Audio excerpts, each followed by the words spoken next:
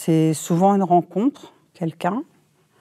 Euh, voilà, ça a été le cas pour euh, le film à côté, où, j'ai été filmer des femmes de détenus dans un lieu euh, où elles attendaient l'heure du parloir, dans des petites maisons, des, salles à côté de la, prison.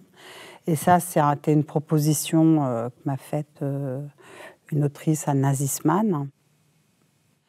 Ça peut être aussi la littérature.